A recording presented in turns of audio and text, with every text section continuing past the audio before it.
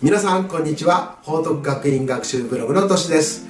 今日は高校受験が近づいてきて不安になっちゃうという人のために一つの提案をしたいと思います、ね、この不安になる原因について考えてみるとまず絶対に受かりたいって気持ち。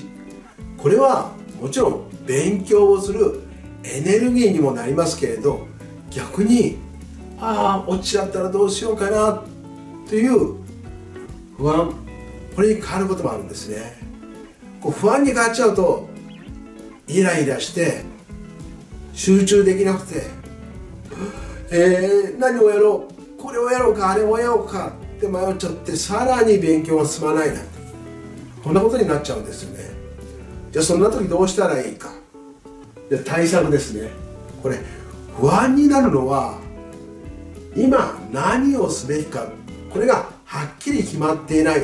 だからああれもこれもあこちらもというふうになっちゃうんですよね。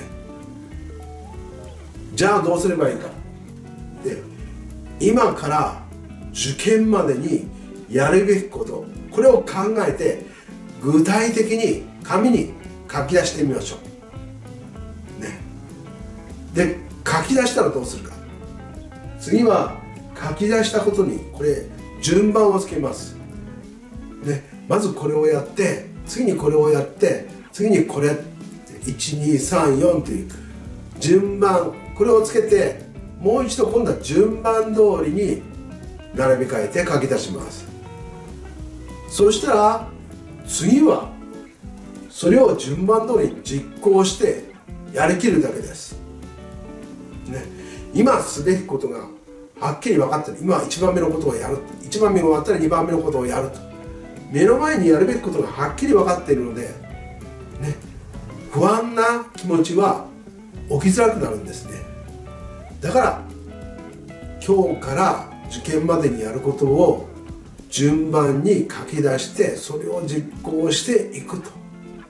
こういうことでこの不安は少し楽になると思います。今回は受験が近づいて気持ちが不安になる時どうしたらいいか。一つの提案をさせていただきました。今日も最後まで見ていただきどうもありがとうございました。